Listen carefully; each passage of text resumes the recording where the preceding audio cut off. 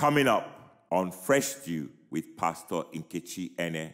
When you are abreast of this truth, when this truth is at your fingertips, when that knowledge is so ingrained in your inner man, you will not be like Jacob who said, the Lord is in this place and I did not know it. You'll be able to put your hand on your chest and say, God is in this place. You'll be able to acknowledge regularly and constantly to yourself that God has come to stay.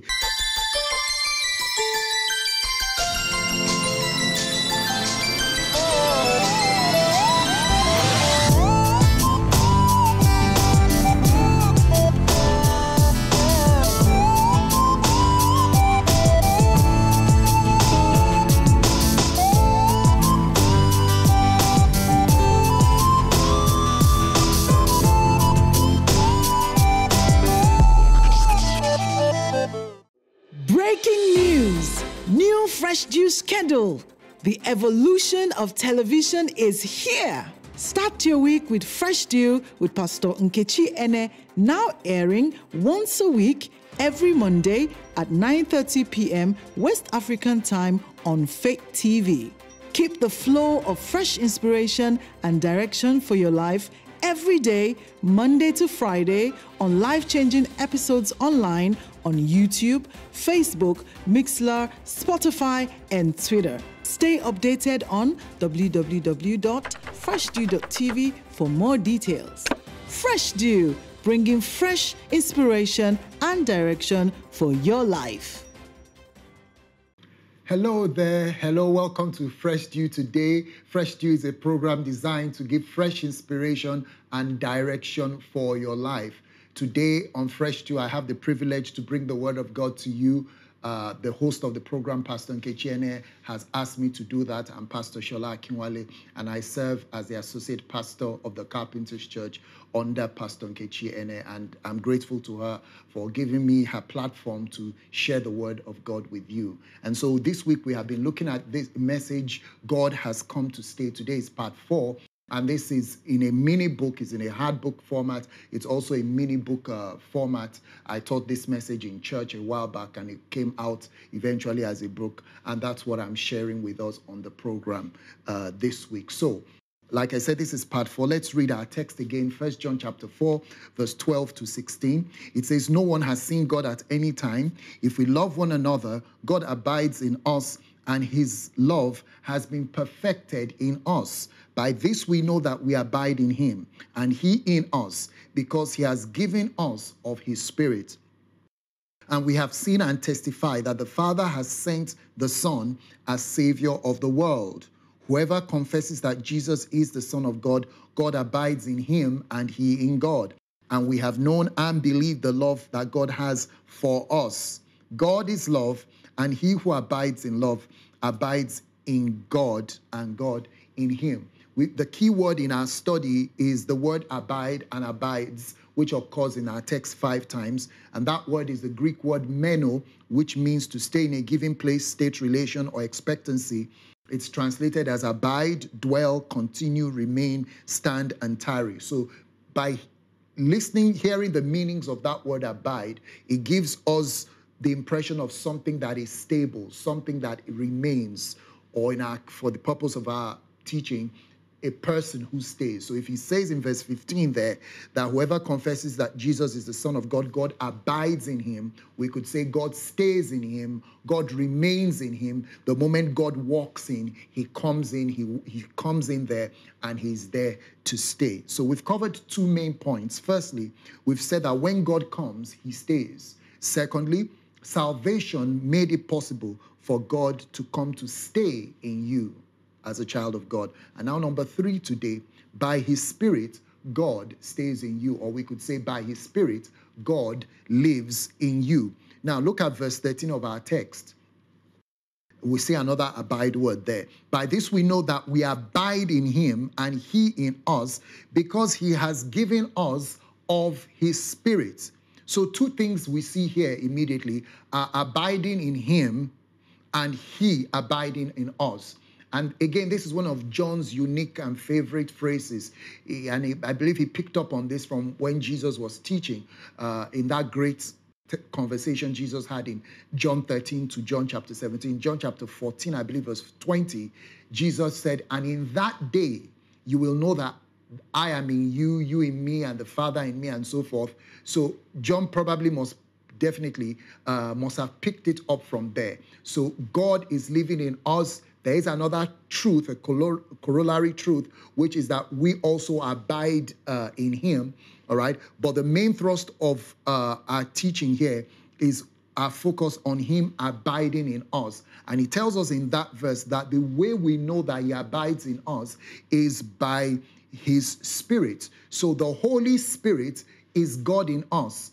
The Holy Spirit is Christ in us, and the Holy Spirit is, is in us. God is manifested in three persons. And interestingly, in our text, we see the Father, the Son, and the Spirit. We know God the Father, you know, is what he refers to when he says God dwells in him. But we also know that Christ dwells in us as children of God, because Paul said in Colossians 1:27, to whom God would make known what is the riches of the glory of the, this mystery, which is Christ in you, the hope of glory. But how does Christ dwell in you as a believer?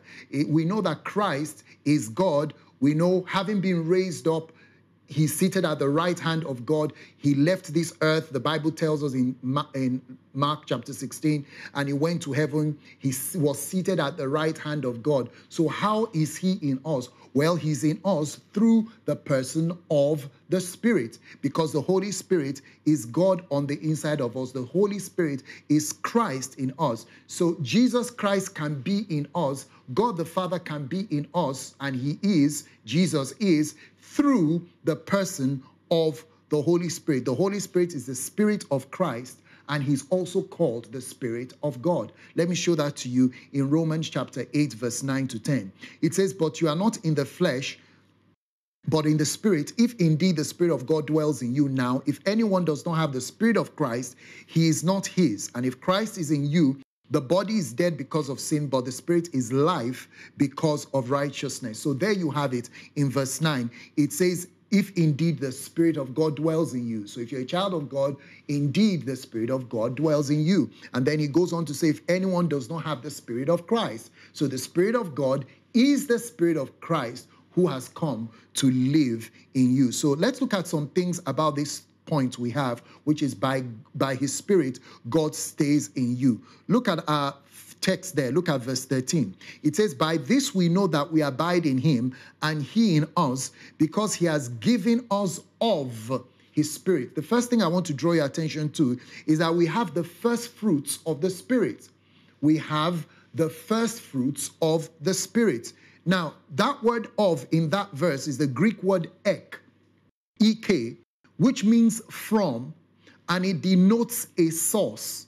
So the verse could very well say, He has given us from His Spirit. So if He tells us He has given us from the Spirit, it seems to say, and I believe it's safe to suggest, that, that there are different aspects, different facets, different distributions, if you want, if you will, different uh, uh, portions for a lack of a better term, that can come from the Holy Spirit. So we have one Spirit, but He has different works and different manifestations in our lives. There is one Spirit. It says He has given us of, out of His Spirit. All right? And this text we have is actually speaking about salvation, the new birth. So when we accept Jesus Christ, we have what we can call the first fruits of the Spirit. This is what Paul discusses in Romans 8 and verse 23. Notice what it says. Not only that, but we also who have the first fruits of the Spirit, even we ourselves groan within ourselves, eagerly waiting for the adoption, the redemption of our body. Paul speaks about the first fruits of the Spirit. And this is what is the new birth, salvation that we've discussed. Why call what we receive the first fruits? Why does he use first fruits? You can only use first fruits, right, if there is more to the to, to, to, to the work of the spirit. In fact, Paul said somewhere else, I believe he said that in Rome, uh, sorry, that would be in Ephesians chapter 1, where he talked about the Holy Spirit is the earnest, he's the deposit of the of our inheritance And that word means the, the down payment. Uh, arrabon, I believe, is the Greek word. It refers to the down payment, the first payment made. And when you make a first payment, that means there are other things that are to come. So when we get saved, we receive that. We receive that measure in sal- salvation, and it shows that there are other, the other measurements, other portions, other uh, manifestations, and other works of the Spirit of God after the new birth. But the first fruit is what every child of God receives. And this is really what guarantees salvation. Because after the first fruit measure, in other words, after you're born again, there's also another gift available to you as a child of God, which comes on the heels of that, which is the baptism of the Holy Spirit. It's also called the gift of the Holy Spirit or the Holy Spirit coming upon you. Now, a lot of Christians, you know, squabble and quibble and argue over this. Some will tell you, well, when I got born again, I received all of the Holy Spirit there is. And for you to do that, you either have to extrapolate into several scriptures or deny the presence of several scriptures. You know, you either turn a blind eye and say those verses don't exist in the Bible or, or, or they mean something else. And that's what happens when you extrapolate. You bring something different from the context. The scripture is clear, and the book of Acts has several examples. And Pastor actually has her book uh, coming out, uh, Dancing with with with with your spirit being led by God's spirit. And she discusses these things there you know which was this was actually taught on Makaira moment which was aired a while back uh, recently on Fresh Dew and there are different measurements of the Holy Spirit but when you get born again that is one. Then you get filled with the Holy Spirit or baptized with the Holy Spirit or you receive the gift of the Holy Spirit, the Holy Spirit comes upon you. These are different phrases referring to the same thing. And the book of Acts is filled with so many examples of that. But even after you're filled with the Holy Spirit, which is for empowering, for living, and for service, there is also something available to every child of God, which Ephesians 5:18 captures, which is where he says, Do not be drunk with wine, but be filled with the Spirit. Or we know it more literally to mean be being filled with the Spirit, constantly filled with the Holy Spirit. That is the way to draw upon the rivers of living water that came into you when you were filled with the Holy Spirit, as well as plumbed into the depth of that well of salvation that you received when you accepted Jesus Christ as Savior and Lord. You keep it fresh, you keep it going. So, all of these are showing that there are different uh, measurements, if you like, of the Spirit available to a child of God. But the one by which we know that you are a child of God is that one John describes. He has given us of, from his Spirit. And that's the first fruit of the Spirit, whereby every child of God knows that they are saved, the Spirit of God bearing witness in their spirit, and it is that what conf- and, and, and it's that presence that that uh, every believer literally has. Even, even after you're filled with the Spirit, there's also what is that Paul talked in Galatians chapter 3 he who ministers to you the Spirit, you know, and works miracles are, uh, among you. He who ministers. So there is a constant ministration of the Spirit, life in the Spirit, available to every child of God. But again, the one that is static and is constant for every child of God that you know. You see, you're not saved because you are baptized with the Holy Spirit. And this is one of the reasons people argue. Uh, they say things like, oh, but I'm saved now. I'm saved. I've received, I'm born again. So are you saying if I'm not baptized with the Holy Spirit, I'll not make heaven? I'm not saved? Nobody is saying that. We've already seen that. But if you want to enjoy heaven on earth and you want to enjoy in fullness what the Holy Spirit came to do in your life, then you go beyond that and you can be filled with the Spirit of God and maintain a spirit filled life. All right? Something else we need to see from this is the fact that we need to develop a God inside mindedness. God inside mindedness. God wants you to develop a God inside mindedness or a consciousness within you. Look at the verse we read again. Let me draw something out there. It says, By this we know that we abide in him and he in us. For what reason? Because he has given us of his spirit. So the way we know that he's in us is by the spirit. So God is not just content on dwelling in us. What else do we see from there? He wants us to know that he's in us. And that comes with a that consciousness brings peace. It brings security. It brings confidence. It brings calmness to you in the circumstances and in the situations of life. When you are abreast of this truth, when this truth is at your fingertips, when that knowledge is so ingrained in your inner man, you will not be like Jacob, who said, the Lord is in this place and I did not know it. You'll be able to put your hand on your chest and say, God is in this place. You'll be able to acknowledge regularly and constantly to yourself that God has come to stay. Look at Genesis 12, uh, 28, pardon me, 8. 28, 16, and 17. Then Jacob awoke from his sleep and said, Surely the Lord is in this place, and I did not know it. And he was afraid and said, How awesome is this place! This is none other than the house of God, and this is the gate of heaven. The word know there, where Jacob said, I did not know, the Lord is in this place, and I did not know it, is the Hebrew word yada, which means to know, uh, to ascertain by seeing. It's used in various senses, figuratively, literally, and so forth. It's translated observation, care, recognition, it also means to perceive, to see, to find out, and to discern. That tells you that the presence of the Lord is discerned.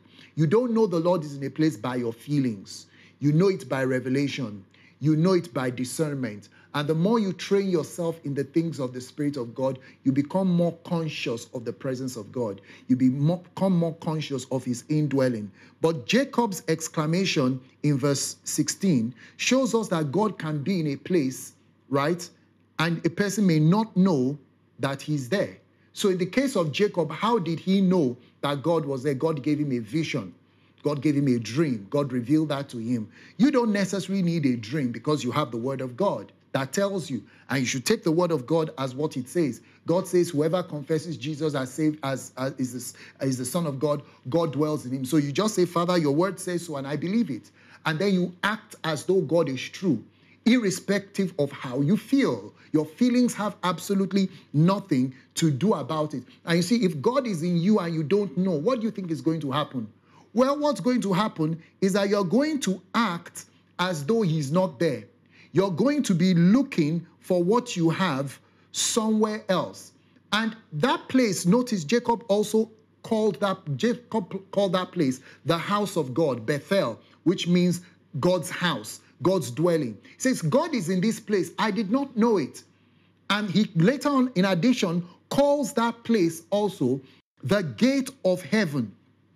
A gate is a portal, a gate is an opening. He said, This place is none other than the house of God. This house of God, get this, is the gate of heaven. Friend, what, what is the house of God today? The house of God today is your body.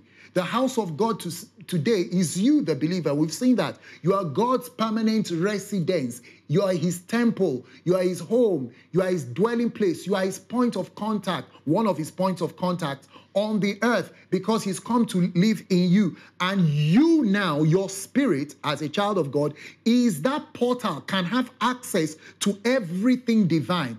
Jacob called a physical place the house of God. The house of God today now is not a building, it's not a physical locale. The house of God is you your body, your spirit, indwelt by the Spirit of God, opens you up to a world of heavenly realities and heavenly possibilities. Glory to God. And through the Spirit of God in your spirit, you can make contact with God. You can make contact with everything Calvary provided and everything that God has richly abounded towards you in grace. So, all you need to do really is to develop intimacy and romance with the Spirit of God because he's there and he's there and he's there to make you know that he's there. If you don't know he's there, again, I, I repeat it, you will you will live as though he's not there and you may end up looking for what you already have. So this brings me to the last thought. The place of knowledge is kind of like connected to what I just said. The place of knowledge is important. Knowledge is vital. Again, verse 13 says, By this we know by this we know that we abide in him and he in us. The word know is a favorite of John. And I don't know whether there's any other writer that uses that word know, more than John. In just five chapters, he uses it so, several times. We, he says in 1 John 5 13, we know that we have eternal life. He says in 1 John 5 uh, 14, I believe, and 15, if we know he hears us, we know we have eternal life we know that we are of God. He, he keeps on using that word. We find another know here. By this we know that we abide in him. And that word know here, he uses the word ginosko and eido, but here it's ginosko, which means to learn, to know, to come to know, to get a knowledge of. All right. Ginosko often suggests an inception or progress of knowledge. So if you don't know God dwells in you today, no problem. You're knowing now. I know God dwells in me. It's one of my confessions. I've already said it severally today. I say it all the while. Thank you, Father. I pray from that consciousness. I live in that consciousness. I've learned to look on the inside many times when I need answers to things. Just ask him who dwells on the inside of me. But the working knowledge I'm at, I am in right now is not where I was five years or 10 years ago. So that knowledge increases and that knowledge grows. And the more that knowledge grows, the more your appreciation of divine things will increase and your exper- experience in the life of God and the things that God has made available to you will also will also increase. So the word know is important because if you don't know God is dwelling there, like I said, you live as though He's not there. You know, there's a proverb we have over here in Nigeria. It says, What you're looking for in Sokoto is in your Shokoto. you know, Sokoto, if you know Nigeria's map, is one of the far flung or farthest states in the north of, of our nation and borders other uh, another country, I believe. Shokoto is a Yoruba word which refers to trouser. So the adage simply says what you're looking for in, in, in Sokoto State, that means at the farthest end, is right on you in your trouser.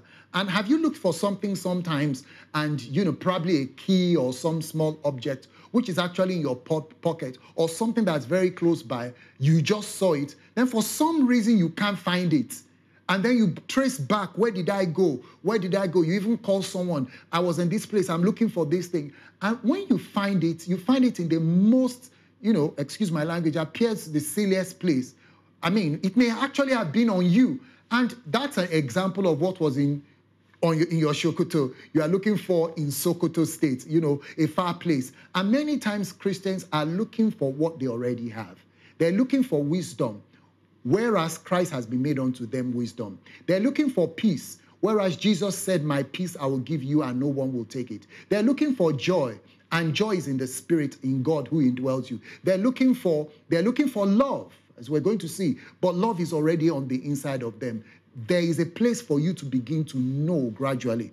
And when you get to know this, life will become different. If you look at 1 Corinthians 3 16, 1 Corinthians 6 15, and 19, Paul uses the word know and in several places there, where he speaks about God dwelling in us, and this is in the New Testament, the place of knowledge is emphasized. I don't have the time to read those verses, but 1 Corinthians 3 16, 1 Corinthians 6 15, and 19 are just examples. And he keeps on emphasizing the place of knowledge because if you do not know who you are, then you cannot maximize who you are, right?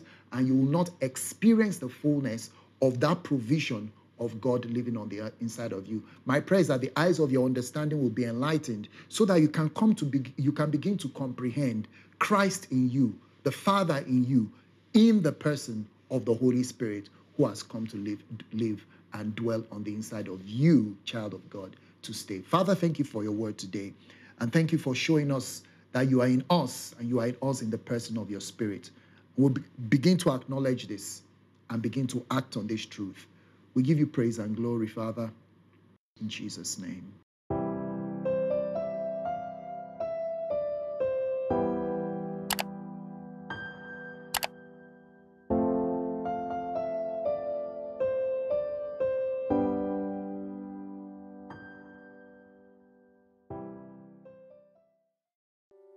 You have so many questions about your life and life in general. Why? When, how, what, who, and the list goes on. Sister, Jesus is the answer to every question, and He loves you just the way you are. He loves you too much to leave you this way. He is knocking on the door of your heart. Will you make a decision for a change today? To surrender your life to Jesus Christ, the Son of a living God. If you want to do that, say this prayer out loud, meaning it from the depth of your heart, according to Romans 10 8 to 13, and you will be saved.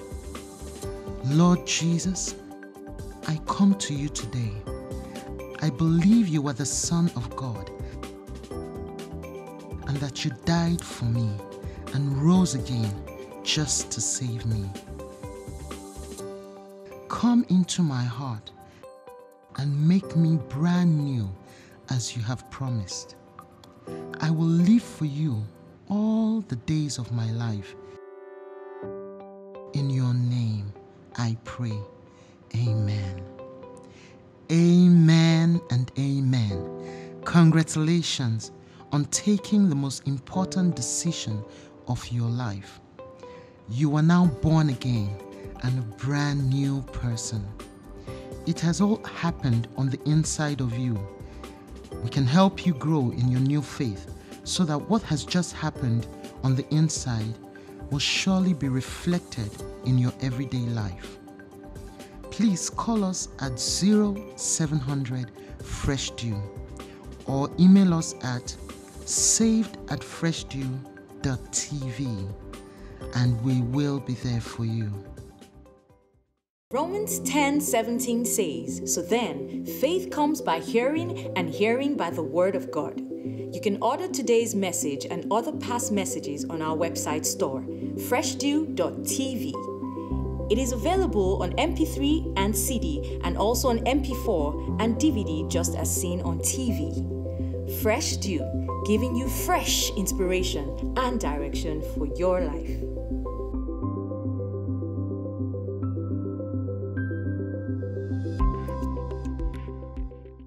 Thank you for watching Fresh Dew today with Pastor Nkechi Ene. We trust you were blessed by today's episode. For further information on Fresh Dew, please call us on 0700 Fresh Dew, which is 0700 3737 4339. If you're calling from outside Nigeria, the number will be plus 234 700 3737 4339.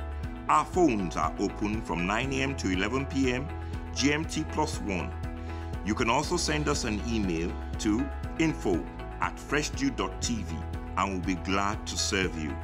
We also invite you to like, follow, and interact with us on our Twitter and Facebook pages at Freshdew TV and also on Pastor Nkechi's Facebook pages at Pastor Ketch.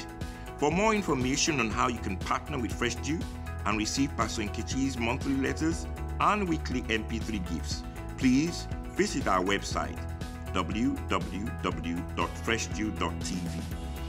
Once again, thanks for being with us today, and we look forward to seeing you next time on Fresh Dew to receive fresh inspiration and direction for your life.